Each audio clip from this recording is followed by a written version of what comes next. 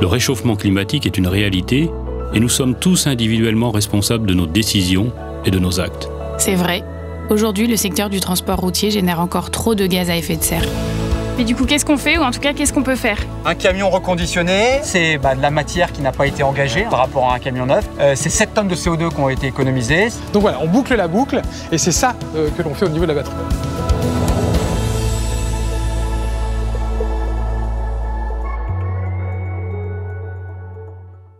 Bon Bruno, je t'ai donné rendez-vous ici dans un endroit un peu particulier que j'aime bien. C'est ce que je vois. Parce qu'on va rencontrer quelqu'un que j'aimerais beaucoup te présenter. Bah écoute, je te suis, Pauline. Allez.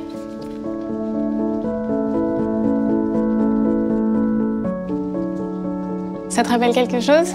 Bah oui, puis tu vois, là, il y a un bel enneigement. Faut qu'on fasse tout pour le garder. Hein. C'est clair.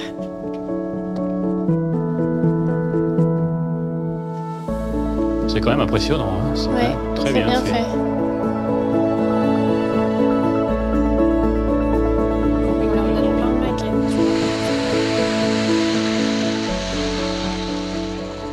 Bonjour Jean, vous êtes paléoclimatologue et ancien vice-président du groupe scientifique du GIEC. Vous êtes un des premiers à avoir alerté sur les effets du réchauffement climatique il y a plus de 35 ans.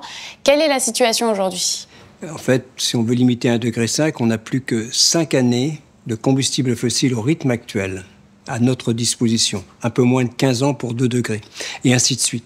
Donc on voit bien que c'est maintenant qu'il faut agir, c'est-à-dire qu'il euh, faut euh, diminuer nos émissions pratiquement d'un facteur 2 d'ici 2030 et atteindre une neutralité carbone à horizon 2050 si on veut effectivement limiter à 1,5 degré dans la deuxième partie de ce siècle. Et vous, à titre personnel, comment vous vous projetez, comment vous envisagez ce, ce réchauffement? Donc à titre personnel, je- ma crainte est effectivement que nous ne fassions rien de supplémentaire par rapport à l'accord de Paris d'ici 2030 et que de façon quasi inéluctable, nous allions vers un réchauffement de 3 degrés. Le problème de, de plus 3 degrés, c'est qu'il y a des régions qui deviennent invivables. Donc on voit bien que, euh, disons, 3 degrés, c'est vraiment un monde qu'il faut tout faire pour éviter. Alors pour vous, euh, scientifiques, qu'est-ce que les industriels peuvent faire? Il faut que la recherche tienne une place importante dans l'entreprise. On ne peut, on ne peut pas, je crois, faire cette transition sans recherche, sans innovation, mais vu du, point de vue du climatologue, l'innovation n'a de sens que si elle contribue à la lutte contre le réchauffement climatique ou tout au moins à l'adaptation. Ah, c'est tout cela qu'il faut mettre en place. Et on voit bien que c'est... ben voilà, ben, c'est quand même relativement facile à comprendre que la mobilité électrique est moins émettrice, en tout cas en particulier en France, qu'une mobilité, euh, qu'une mobilité diesel. Donc on voit bien que eh bien, toute l'industrie va devoir euh, se mettre, euh, disons, au diapason et des secteurs comme le vôtre, Bruno. Donc, quelles sont justement vos difficultés à, vraiment euh, rentrer en rythme de croisière? Disons, je, je, des véhicules électriques euh, sont là, mais c'est moins de 2%, je crois, de, vos ventes actuellement. Comment on passe de ces moins de 2% à, à ce que vous souhaitez en 2040 Je crois, disons, ne faire plus que des véhicules électriques? Tout à fait. Bah, aujourd'hui, on investit effectivement euh, de manière très importante dans les véhicules électriques. On a, on a basé notre stratégie sur l'électrification.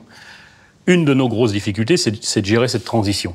Ce qu'il faut, c'est que les réglementations fassent que la demande, en fait, de ce type de, de produit, neutre en, neutre en carbone, euh, va réellement exister. Et donc, il faut que tout le système réglementaire pousse et flèche dans cette direction-là. J'en Oui. suis intimement convaincu. J'en suis convaincu. Et une des façons de mettre à égalité, euh, disons, la mobilité électrique et la mobilité euh, fossile, c'est effectivement de donner un prix au carbone. Il faudra vraiment une taxe carbone à l'échelle planétaire pour que tout le monde parte à égalité en termes de concurrence, ce qui risque de ne, de ne pas être le cas, évidemment. Et là, je suis tout à fait d'accord. Il faut qu'effectivement, on fasse en sorte que le- le fossile, que le diesel, soit de moins en moins compétitif. Il faut que les normes soient en phase avec les, les ambitions, les objectifs. Bon, et du coup, si on doit garder un petit bout d'espoir, qu'est-ce qu'on fait? Disons, mon message est très clair. Cette transition vers une société sobre en carbone, elle est euh, synonyme de, à la fois de recherche, d'innovation. Euh, voilà, donc il y a beaucoup à faire. Alors, on ne peut pas non plus euh, ne pas changer, le, disons, no- notre mode de fonctionnement de société. La sobriété doit aussi un peu au rendez-vous. Recherche, innovation, création d'emplois, dynamisme économique. Et quand on parle de dynamisme économique, c'est un monde où les jeunes ont de l'emploi, où on se sent bien. Cette transition, elle est inéluctable. C'est-à-dire qu'on ne peut pas accepter ne pas atteindre, de ne pas atteindre une neutralité carbone. L'accepter serait euh, effectivement accepter le fait que le, le, climat se réchauffe indéfiniment. Je suis convaincu de, de l'intérêt de cette transition. Elle se fera. Et, et je crois que votre génération a intérêt à la jouer complètement et à la réussir.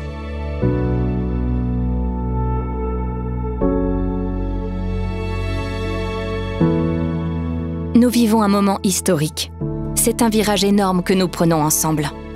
Et c'est maintenant que commence le vrai voyage. Je termine cette expérience avec un double sentiment. D'abord, un sentiment de fierté, car je vois les choses qui avancent, nous sommes dans l'action et les investissements sont là. Nous prenons nos responsabilités et nous embarquons nos partenaires avec nous. Le réchauffement climatique est sous nos yeux. On ne peut pas l'ignorer. Plusieurs générations de scientifiques ont démontré que son origine était liée à l'activité humaine. Notre responsabilité est d'agir pour que le monde dans lequel nous vivons ne s'effondre pas. Mais soyons honnêtes, il y a urgence. La tâche est immense. Serons-nous capables d'atteindre nos objectifs pour 2030 Même après? Je suis motivée par cette transformation qui avance. Et à la fois, je m'interroge sur le chemin qu'il reste à parcourir. Je suis sûr qu'une partie de la réponse réside dans l'innovation. Une innovation qui emmène l'industrie vers la neutralité carbone.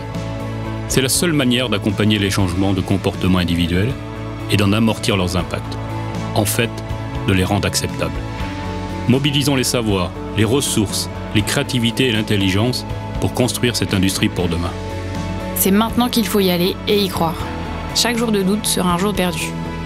Nous n'avons plus le temps, alors avançons, ensemble.